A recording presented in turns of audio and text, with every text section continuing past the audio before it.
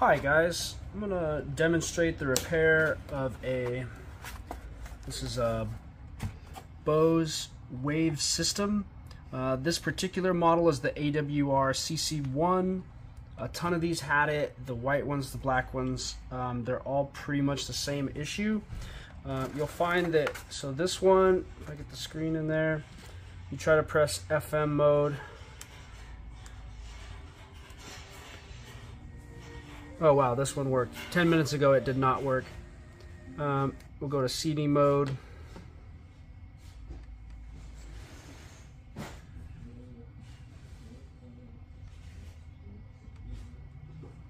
Try to put the CD in. It just shuts off. Will it go back to radio now? Press the radio button. Now it's... Oh, it is going to try to work course it does.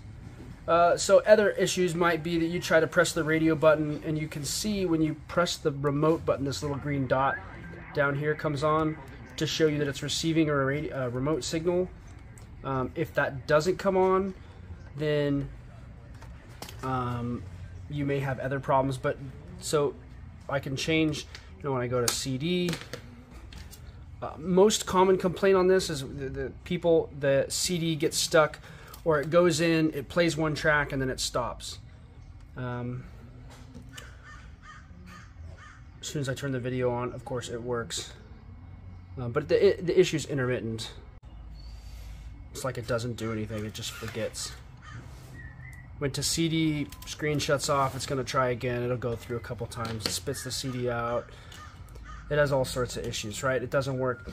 Um, the other one I just worked on, when you press radio mode, it goes to just, the screen never changes. It says, please wait, please wait, please wait. Nothing ever happens. So first we need to disassemble the unit. One, two, three, four, five screws here. Handy dandy magnetic tray.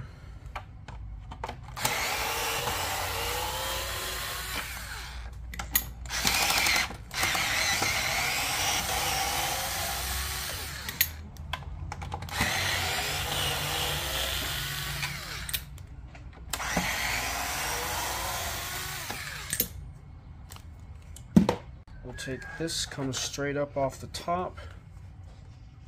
And there's almost on all of these. These foam stuff comes apart so good luck with that. Uh, let's see.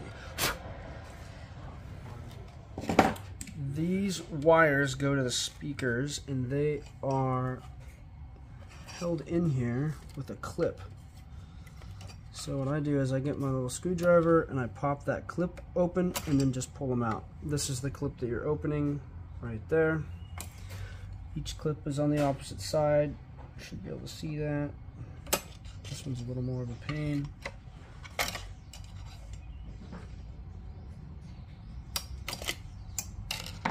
Okay. And then I like to take the transformer off with the sound unit. Pop that clip.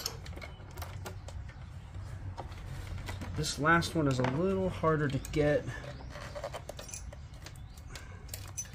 have to lift this up and then unclip this last one and undo that. Now be careful that you don't just lift this off because we're not done yet. On this side, under here, there's a ribbon cable. We're gonna unclip this just pull straight out, but be careful that you don't uh, bend the cable or rip it. Um, they can get really sensitive right here on the edges. Just be careful with them. Set this aside.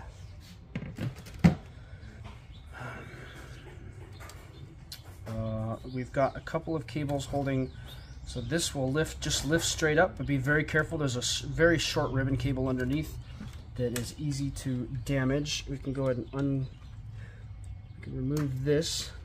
Um, I just remember that the 45 side is going to go up to the display. And then this comes off. There's a cable on the side here. And then this ribbon cable, if you lift this up, you can see this ribbon cable here. Be extra careful to get it out. And then this comes off. Set that aside. Uh, this cable is going to come off. Take it off. I take it off from this side. That leaves this board free. That's the board that we are trying to get to. Uh, there's two screws here that hold this in. These screws are the shorter ones versus these ones are the case screws.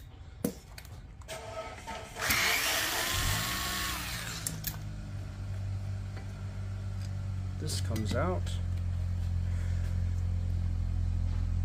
I've seen people replace all of these capacitors.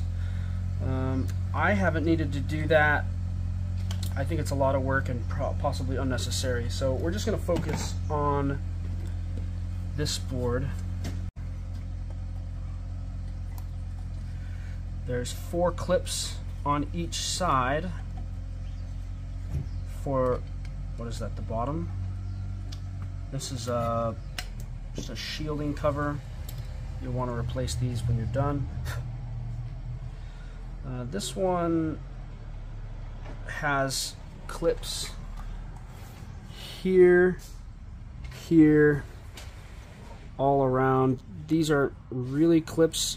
These are the clips here. You can see there's a little a little notch in there and there. So you just want to use your screwdriver or some other device. Be careful not to damage the board and open that up so it comes up just far enough. You can get the next one off. Probably help if I started on this side. Just get that up and moving. And then that comes off. The one, no, anyway.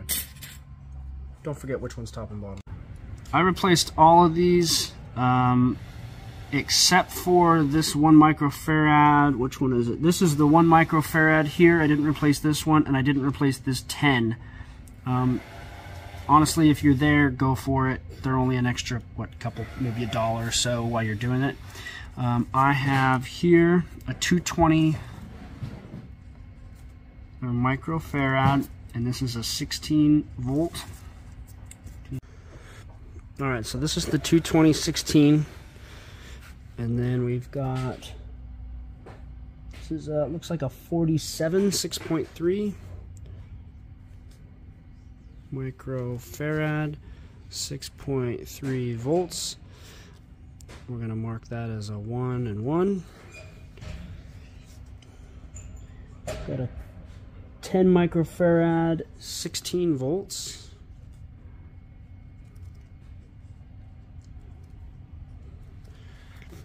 there's one, there's a another one of those. This is a 22 microfarad. 16 volt. This is also a 22, so we'll mark an extra one of those. I've got 100 microfarad, 6.3 volts.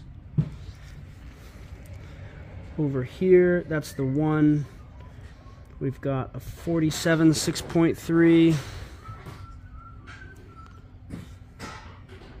1016.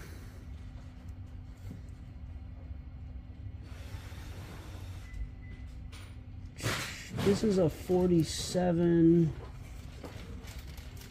So 47, this one says uh, there's a 32A.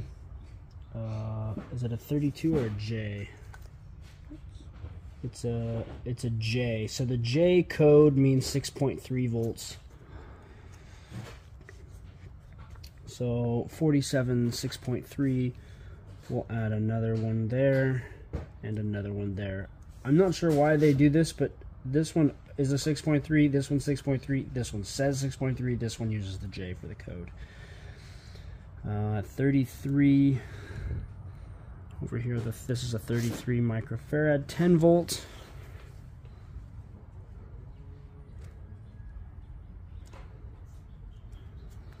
And then we've got a 4716. I'm going to add an extra notch here for the 47 6.3 because we're going to end up getting 47 16s for all of these because that's what I have available. So let's double check 147 16, 33 10, 47 47, 47, 2, 3, 10. That's the one. Uh, I'm not going to mess with this 10 down here either. Uh, we've got a 100. 10 a 10 there's the other two tens. A 22 and a 22 there's the two and that last 47 okay. I'm gonna go get those parts. I'm gonna start with this 220 over here.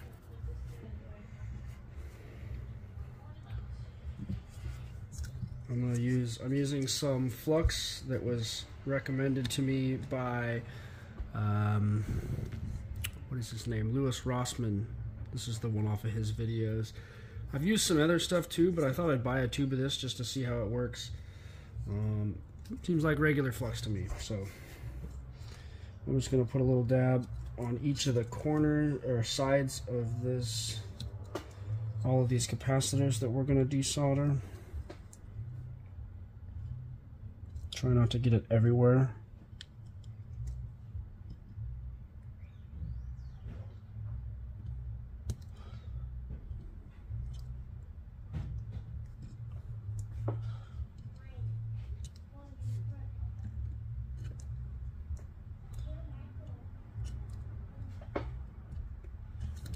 With that for now. And then what I do for this is I don't mess with desoldering them. I just take, let's see, right in the center of the screen there. I'll just put the iron right here on this leg and sort of lift up on them. And they, they come just a little ways. And I go to the other side.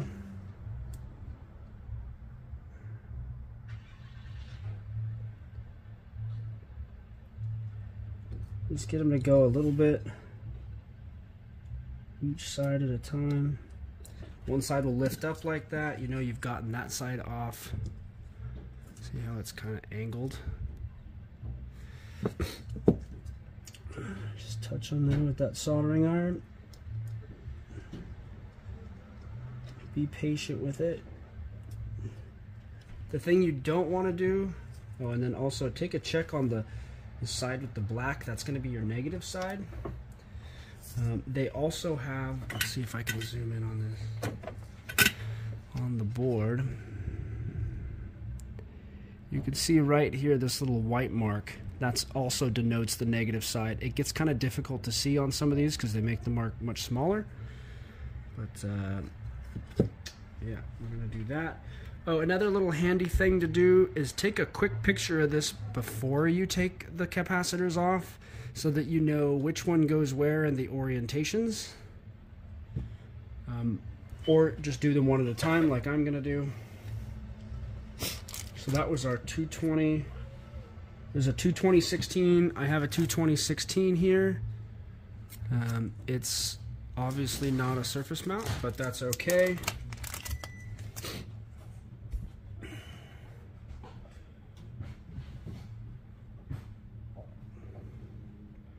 So the way I'm going to do this is I'm going to bend these leads. Go right here.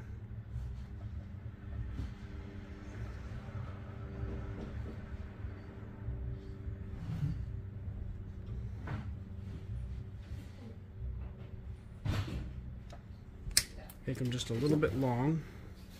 I'm going to solder this like this so that it folds back onto itself. Oh, Another thing that's helpful to do is if you can see, I need to keep this in the center, huh? Uh, so if you can see, there's not a lot of solder on here. I'm just gonna add just a little extra so there's a nice little bubble. Yeah, it's kind of it's kind of bubbled and rounded.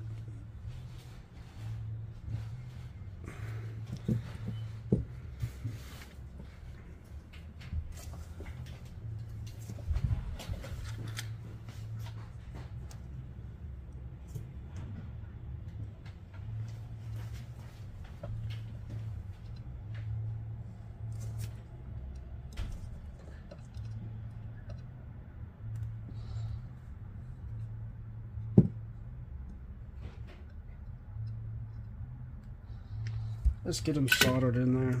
And then I take this one on this side. I'm just gonna fold it back around onto itself. So it sits on there nicely. It's kind of tucked in out of the way. Pretty much flush. And I got the negative side on the negative pad. And that's pretty much the technique that I use for these. Um, it helps to have a little bit of solder on the end of your the end of your iron.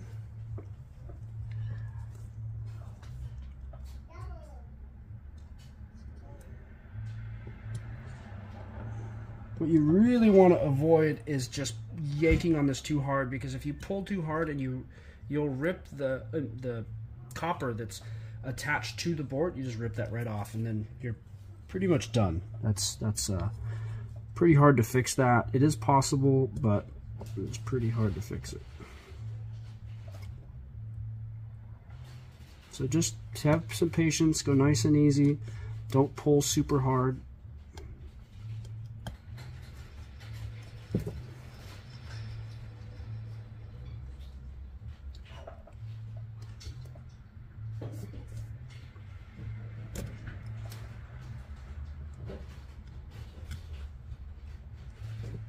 And that was a 47 6.3 negative on that side. That's going to be one of these and I'm just replacing this with a a 4716 the capacitance needs to be the same but the voltage can be higher not lower.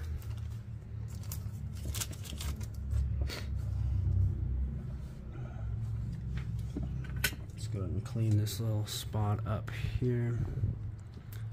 Got a little zoomer in further.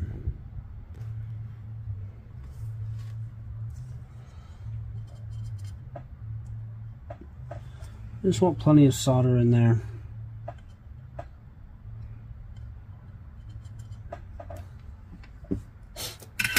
So this one, I'm going to lay this so sort of like in here like so. Like this way. down and then bend it back so that they're kind of angled flat like that. Trim the excess off so it doesn't fly everywhere. Bend these up just a little bit.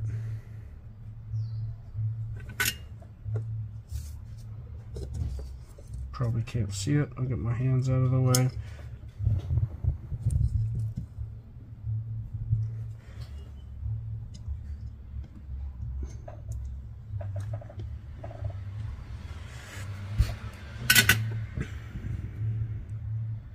See I just have those leads soldered in there. This lay, there's a little white bar right here to denote the negative side, and that's the negative side there. And repeat this process for the rest of them. It gets a little spacious, anti-spacious in here. It's a little anti-spacious in here, so um, get creative.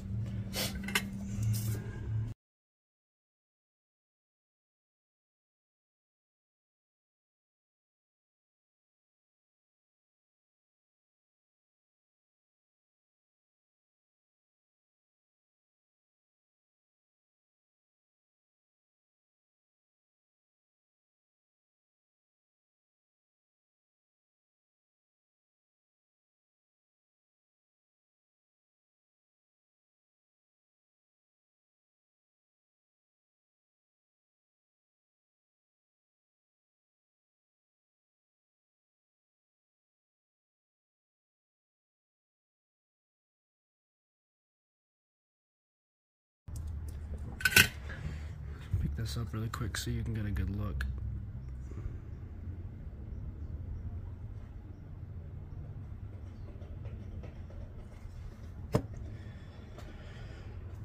This one's next. This is a 22 6.3.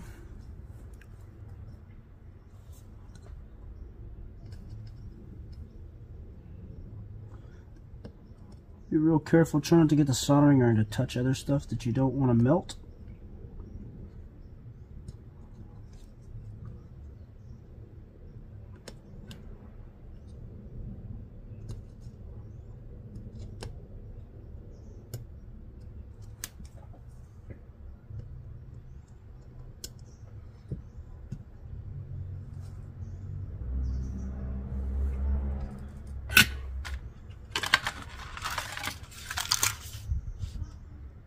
22, this is a 22 microfarad 25 volt. The one we took out was a 2216. That's just the smallest one that I could get easily. Let's add a little extra solder. I'm out of solder. So in case you all are wondering, I am using, it's RA Flux. it's 22 gauge uh, this is a 6337. The 6337 is supposed to be a little bit better. It's supposed to be a little bit better for uh, circuit boards. Um, I personally try to shoot for the RA flux just because um, I think it's a little bit stronger and if I'm ever working with dirty materials or um, it doesn't solder doesn't want to move really well. I'd rather have a little bit stronger flux.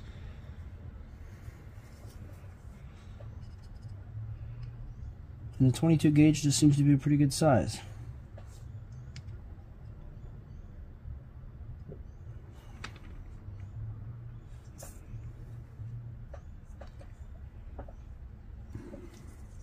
So I'm going to bend this one.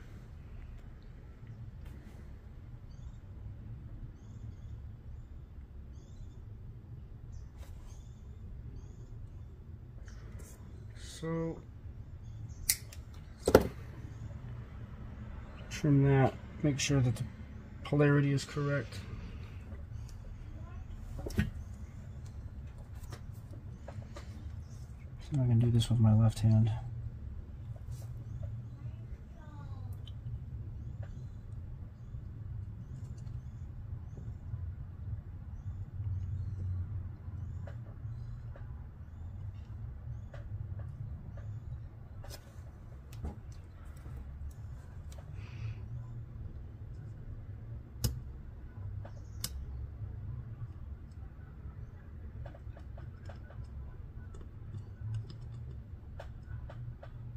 The tweezers help get things into place.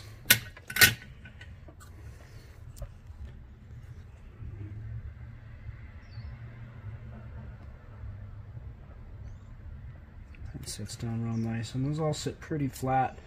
It should be just okay. The CD, the CD uh, drive sits pretty high above this, so you have a little bit of room if they're not super flat. The shielding will probably go back on no problem. If it sits up just a tiny bit, it's alright. Sometimes I even leave the shielding off if yours sits too high and it doesn't fit. Um, it's probably fine.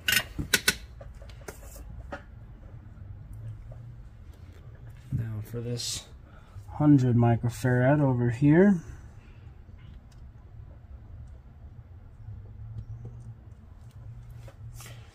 So I'm just I'm just heating this pad up over here. That surface mount pad. I'm just applying a little bit of pressure to the side of it to try to get it to lift up. And once it comes up just a little tiny bit, then I move to the other side and just keep working it back and forth until it comes off. Being very careful not to pull too hard. It doesn't take very much force at all the amount of force that you're trying to take is you're just trying to bend those little tiny wires. That's all. You're lifting, you know, when you desolder it, it's going to lift up just a little bit and you're just going to rotate that wire. So you're not, they're not glued on, they're not stuck down. So that one was a 6.3 volt. The lowest one I could find was a 16 volt again. Um, you can go up in voltage these are also uh, 105. So I show you this.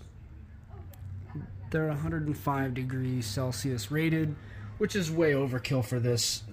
I think really all that's happened with these is they've they've just gotten old, uh, and the the um, electrolytic material inside the capacitors has just gotten uh, has just gone bad.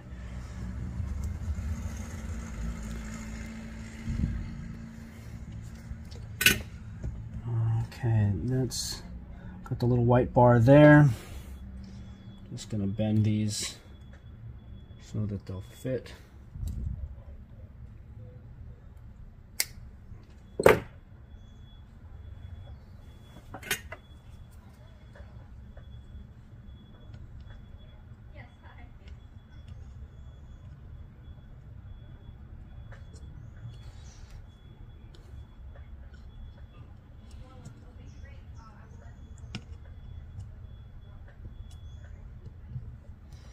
All right.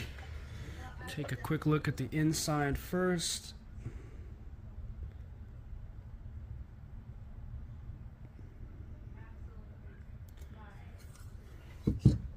I guess in hindsight, I didn't need to take the bottom one off, huh? Some junk in there.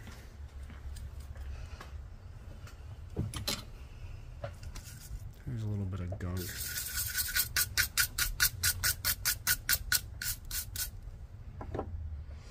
I've seen where bugs have crawled into here and they, they like the, I don't know, the warmth or something, so um, that happened as well. Now we get this side. This side is, is probably a little easier to get these off, but um, a little more of a pain to get the, the non-surface mount capacitors, whoops, the non-surface mount capacitors to lay in there one of the things that I can do is take a picture of this with my phone.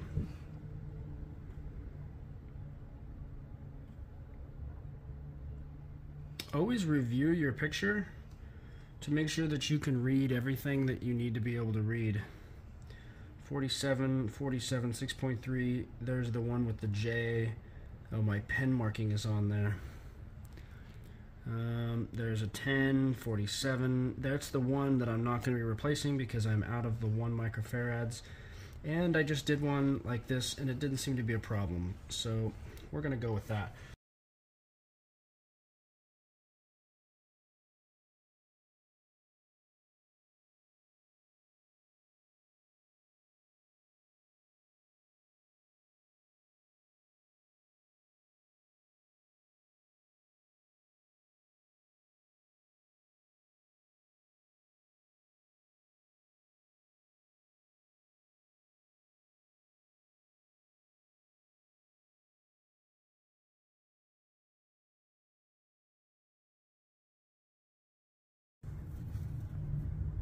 Now I'm going to refer back to my picture and start with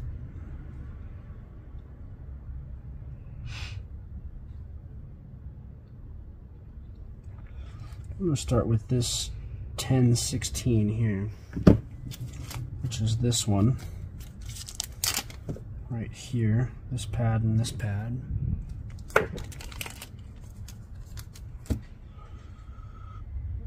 Because this one will fit. No, we're going to start with this one over here. This is the one to start with. And that is our 4.7. Sorry, 47. There is no 4.7. It's a 47. Try that instead.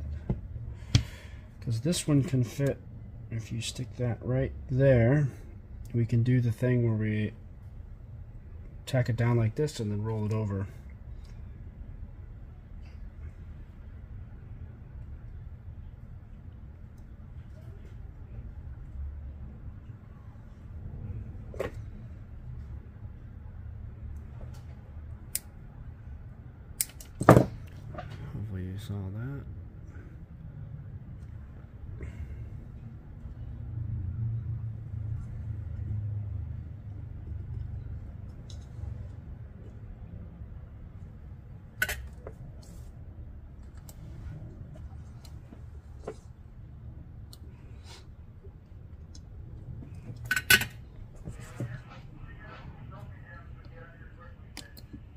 Don't want too much of the the capacitor leads to overhang. I just don't want them to get, I don't want them to touch anything they shouldn't be touching.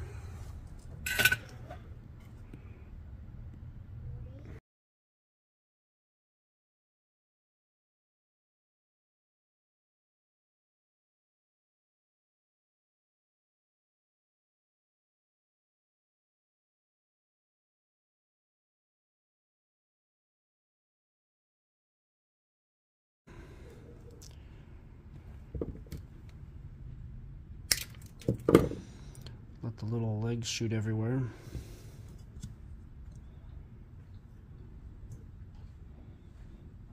Hmm. I made them a little short. None the matter. I have tools for that.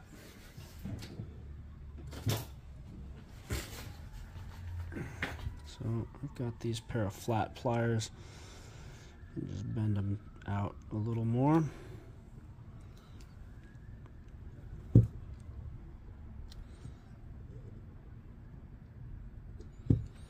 No, they're very short.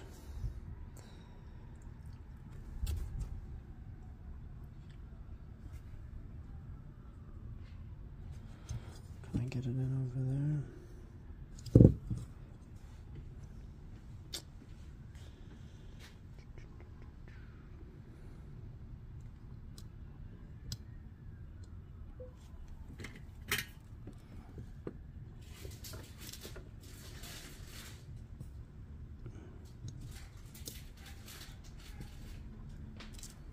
There, it fits just fine.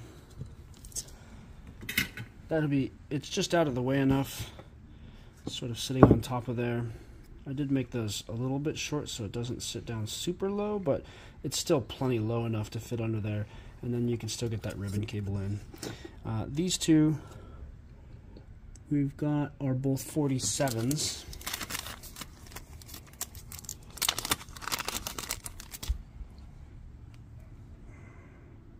Forty-seven sixteen, and they'll both sit. Uh, if you set this one this way, it'll fit out of the way pretty nice, but we have a screw that goes in here.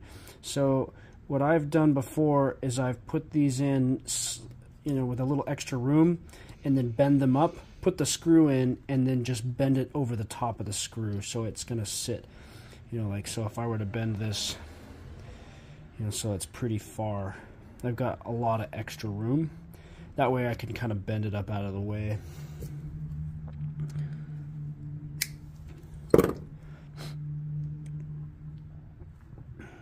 See if I if I leave set that like so, it's gonna have a lot of room.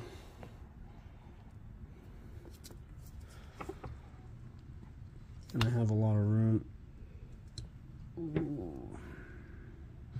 Let's get on the right pads here.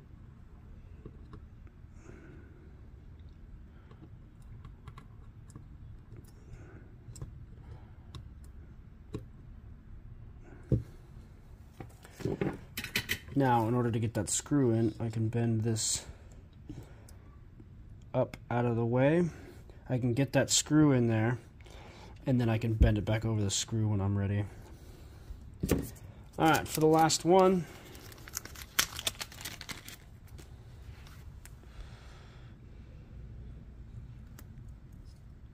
Forty-seven sixteen. I'm gonna set this one kind of offset a little bit so I don't get in the way of those other legs over here.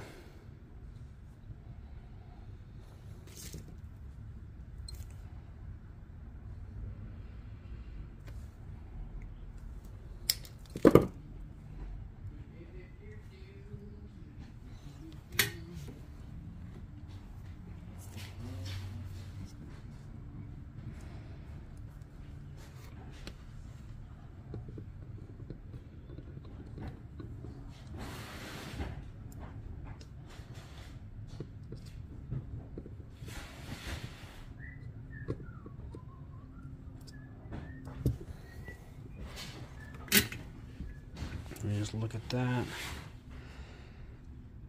Hmm. Last solder joint's not great. It's almost in the way. Of that screw. But it should work just fine. We should be able to get that screw in and then screw that back down and then kind of bend those over. All right, let's get it back together.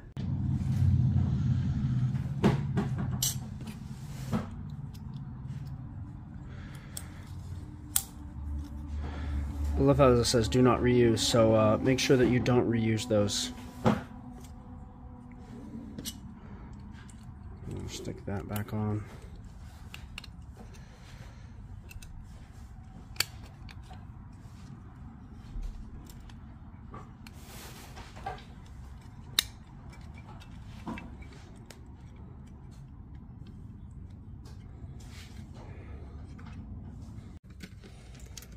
this back in here, reattach this.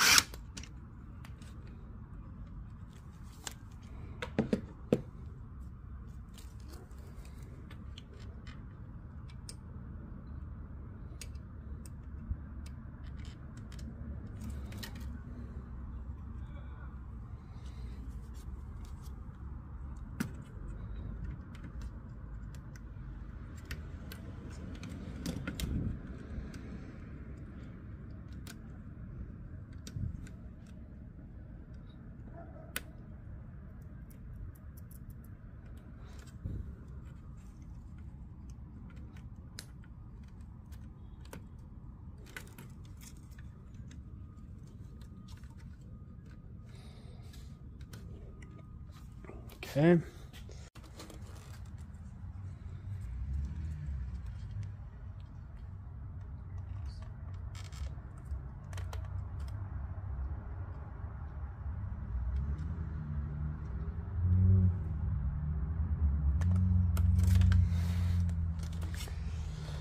That plug back in. This one underneath, kind of a pain to get plugged in.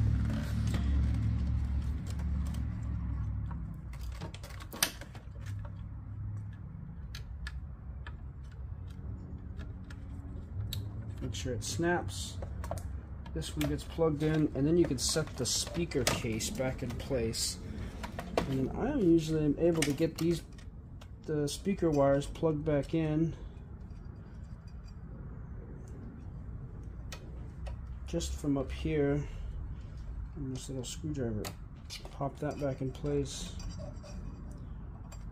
All this dust that always comes apart. Anti-rattling foam, I think. Okay.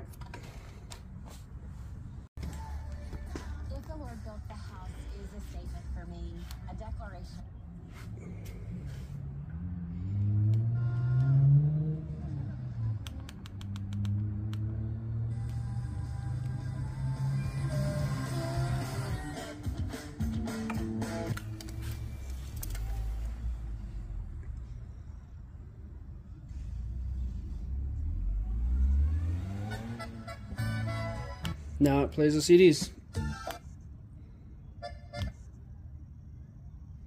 think this is some random. Go all the way to track. Make sure it can seek. Uh, back to stereo.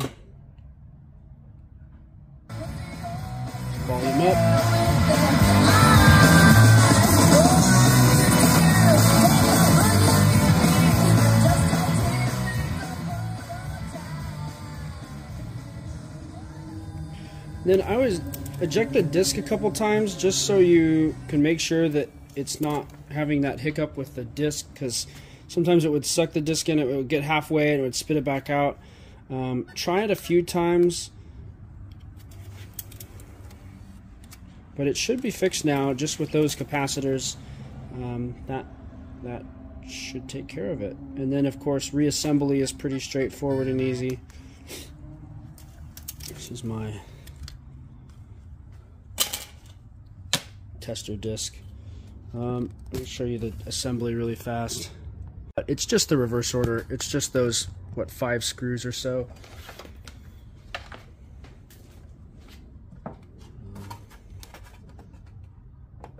Just gonna put this back on.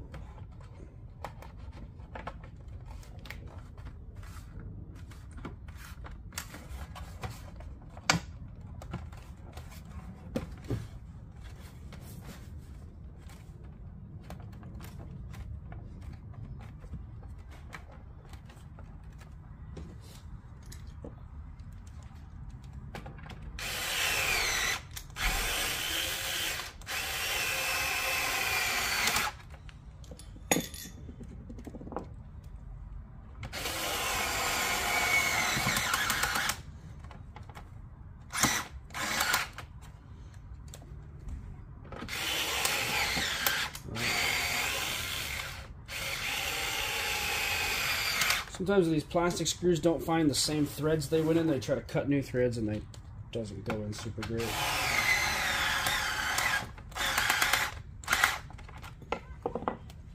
Like that.